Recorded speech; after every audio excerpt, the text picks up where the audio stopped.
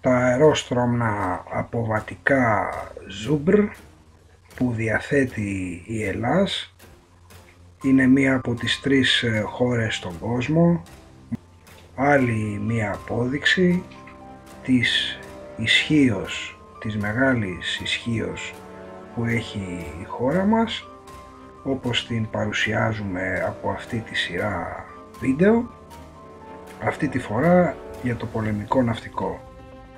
Το ρωσική σχεδίαση Ζούμπρ είναι το μεγαλύτερο στρατιωτικό αερόστρωμνο του κόσμου και χρησιμοποιείται ως αποβατικό σκάφος στρώματος αέρα. Σήμερα βρίσκονται σε ενεργό υπηρεσία 9 σκάφη σε ολόκληρο τον κόσμο σε χρήση από τις ναυτικές δυνάμεις της Ελλάδας, της Ρωσίας και της Ουκρανίας. Η μεταβίβαση του Κεφαλληνία, του πρώτου από τα δύο αερόστρωμνα Ζούμπρ που αγοράστηκαν από την Ελλάδα στο ελληνικό πολεμικό ναυτικό, σηματοδότησε την πρώτη φορά που σκάφος ρωσικής κατασκευής χρησιμοποιήθηκε από το πολεμικό ναυτικό χώρας μέλους του ΝΑΤΟ. Είναι σχεδιασμένο να μεταφέρει αποβατικές επιθετικές μονάδες, όπως πεζοναύτες ή άρματα μάχης, από εξοπλισμένα ημί σκάφη σε μη προετοιμασμένες ακτές, καθώς και να μεταφέρει και να ποντίζει νάρκες.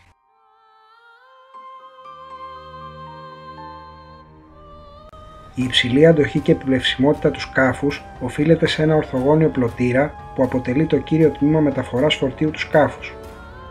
Η υπερκατασκευή που βρίσκεται πάνω στον πλωτήρα χωρίζεται σε τρία τμήματα με δύο οριζόντια διαφράγματα, το ενδιάμεσο τμήμα πολεμικού υλικού που είναι εξοπλισμένο με ράμπες αρμάτων μάχης και τα εξωτερικά τμήματα που περιέχουν τα κύρια και εφεδρικά συστήματα πρόωσης, τα τμήματα ενδιέτησης και τα συστήματα προστασίας βιοχημικού πολέμου.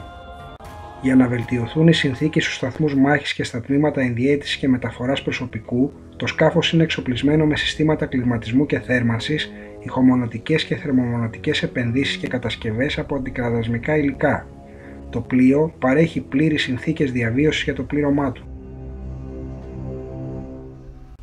Το Ζούμπρ μπορεί να μεταφέρει τρία κύρια άρματα μάχης μέχρι 131 τόνους ή 10 τεθωρακισμένα οχήματα μεταφοράς προσωπικού με 140 στρατιώτες μέχρι 115 τόνους ή μέχρι 500 στρατιώτες με τους 360 στο τμήμα φορτίου. Με μέγιστο φορτίο, το πλοίο είναι ικανό να ανέβει πλαγιές μέχρι 5% κλίση σε μη προετοιμασμένες ακτές και να υπερπηδήσει εμπόδια μέχρι 1,6 μέτρα ύψος. Μπορεί να επιχειρεί σε κατάσταση θάλασσας μέχρι 4 με ταχύτητα 30-40 κόμβους. Το προσωπικό προστατεύεται από όπλα μαζικής καταστροφής με αεροστεγή μόνωση των σταθμών μάχης και των τμήματων του προσωπικού και του πληρώματος, όπως και με προσωπικές προστατευτικές μάσκες και στολές. Το πλοίο είναι επίσης προστατευμένο από νάρκες, καθώς το οριζόντιο στρώμα αέρα που δημιουργείται μέσα στη φούστα που περιβάλλει το σκάφος ελαττώνει το μαγνητικό ίχνος του πλοίου και των μεταφερόμενων υλικών.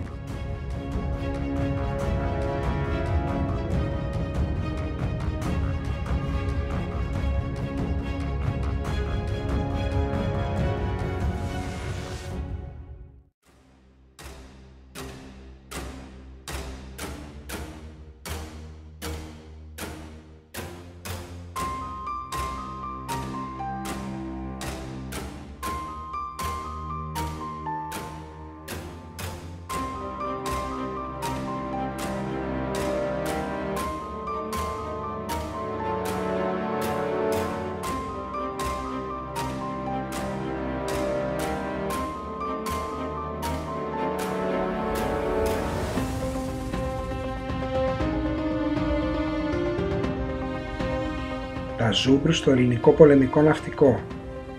Στο ελληνικό πολεμικό ναυτικό υπηρετούν τέσσερα πλοία. Τα τρία πλοία εντάχθηκαν το 2001. Το Κεφαλληνία αγοράστηκε από το ρωσικό ναυτικό και εξυγχρονίστηκε, το Ιθάκη ολοκληρώθηκε στην Ουκρανία και το Ζάκυνθος κατασκευάστηκε στη Ρωσία. Ένα τέταρτο σκάφος, το Κέρκυρα, καθελκύστηκε στα ναυπηγεία της Αγίας Πετρούπολης τον Ιούνιο του 2004 και εντάχθηκε τον Ιανουάριο του 2005.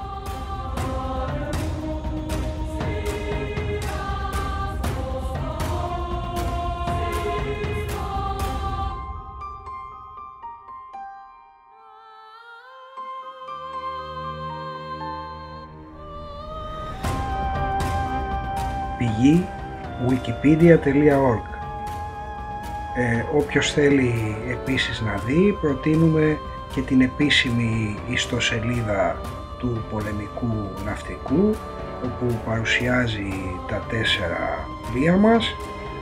Και καλό θα είναι ε, όσοι ανησυχούν να δουν στο κανάλι μας. Έχουμε αρκετά βίντεο με τα υπερόπλα που διαθέτουν οι ένοπλες δυνάμεις μας οι οποίες πραγματικά εγγυώνται την ασφάλεια, την ειρήνη και τη σταθερότητα στην περιοχή